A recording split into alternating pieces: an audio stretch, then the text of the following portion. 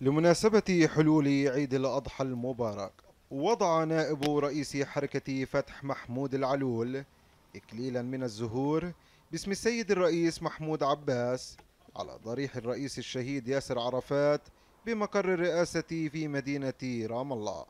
وضعنا إكليل على ضريح رمز هذه الأمة آه، الشهيد ياسر عرفات رمز هذه المسيرة النضالية الرائعة بهذا الموضوع. اليوم عيد الأضحى نعم تأتي الأعياد ونحن نعيش في حالة من الألم من الضغط دائما. نحاول ما نستطيع أن نوفر مناخا مناسبا لأطفال هذا الشعب الفلسطيني بهذا الموضوع لكن أيضا نحن مضطرين في الأعياد أن نحياها بطريقة مختلفة تماما أن نستذكر شهداءنا أن نتواصل مع ذويهم أن, أن نتواصل مع أسرانا الأحبة. فكل عام والجميع بخير.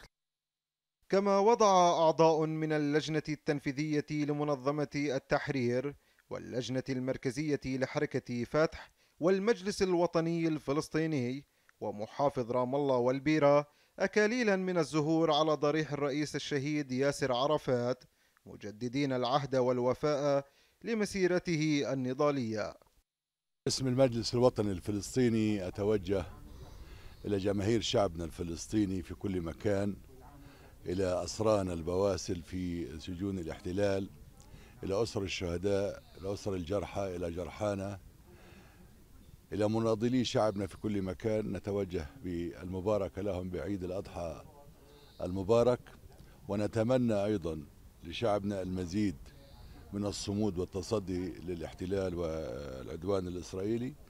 والقيادة الفلسطينية كالعادة دائما آه، بتوجيهات سيادة الرئيس آه، محمود عباس الذي أتوجه له أيضا بالتحية والمباركة بمناسبة عيد الأضحى المبارك.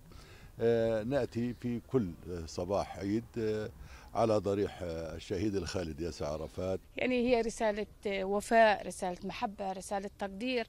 آه، طبعا في كل عام نبلشها من آه، ضريح الخالد فينا ياسر عرفات وهو رمز لشهداء الوطن قادة وكل الشهداء قادة صراحة.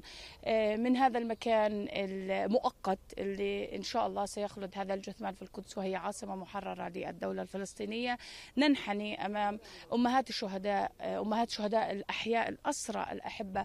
العائلات اللي ناضلت وضحت ومهما حاولنا أن نقوم بواجبها ما راح نستطيع أن نقدم نقطة في بحر من هذه العذابات. الأمهات الجميلات وأمي آه، كل عام وهن بخير. القيادة الفلسطينية هنأت بهذه المناسبة أبناء شعبنا وعائلات الشهداء وأطفالهم والأسرى وذويهم والمقدسيين الصامدين المرابطين في المدينة المقدسة متمنيين أن يعم الأمن والسلام على شعبنا وأن يرحل الاحتلال وأن تقام الدولة الفلسطينية وعاصمتها القدس. محمود مظلوم تلفزيون فلسطين.